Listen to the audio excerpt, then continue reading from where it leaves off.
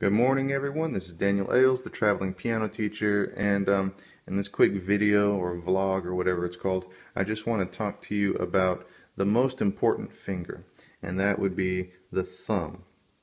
Now a lot of my students don't really know how to place their thumb on the keys, and if you don't know how to properly place your thumb on the keys, it gives you really bad hand position. So let's take a look at this. I'm going to put my hand in and C, the C5 finger scale. Okay. And if my thumb, let me see if I can get the camera angled right here. If my thumb is played flat, like if I'm if I'm playing on the uh, like most surface area I possibly can on the side of my thumb, like that, then notice what happens to my wrist. My wrist goes down. A lot of my students like to play their thumb like this, and their wrist falls. Um, very rarely do I have students do the exact opposite, where they try to play on the very, very tip of their thumb, and they go like this. They usually do this like for a second or two if I tell them, hey, you need to get your wrist up, and so they go, whoops, like that. Which, that, that isn't exactly what I mean. I want them to get their wrist up from this, not up like a mountaintop.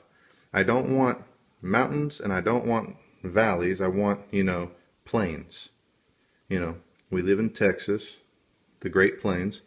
So I want my students to have good planes or tabletops. Now, how do we do that? How, where, where, where should our, our mind be when we're thinking about our thumb? See if I can position this better. Okay, so you see the corner of my nail right there. Uh, see if I can get this in focus. Yeah, sorry, I'm holding the camera with my left hand.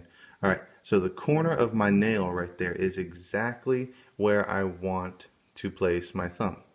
And a lot of my students, I'll tell them to do that and they'll put it there and their hand looks great. It looks like a tabletop, a plane, and then they'll play their thumb and then they go like that. And I tell them, no, don't do that. Don't flatten it out the moment you play it. Play on the corner. They'll start out really good. And then the moment they begin their song, they'll go like that. Oh my goodness. It makes me so aggravated. Aggravated is a good PC term. So, play on the corner of your thumb no matter what finger's playing. So if I play my if I play my thumb, there, I still have a good playing. If I play my my third finger, I'm still on the corner of my thumb. If I play my fourth finger, I'm still on the corner of my thumb. And if I play my pinky, I'm still on the corner of my thumb. Even though my thumb's not playing, I still position my hand right there on the corner of the thumb.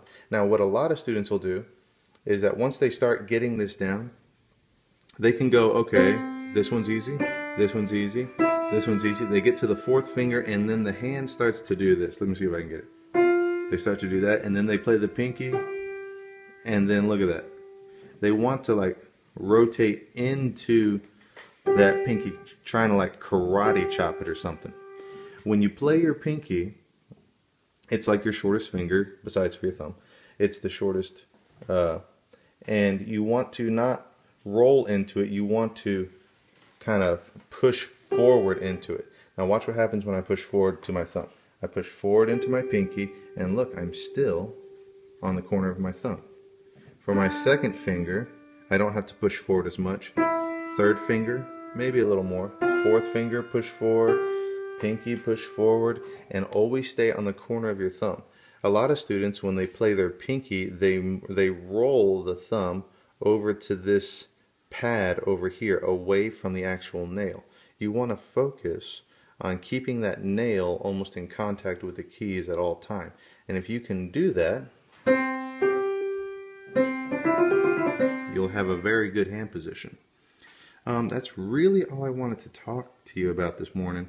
Uh, if you have any questions, feel free to contact me via Facebook or email and uh, just keep practicing. I hope this helps.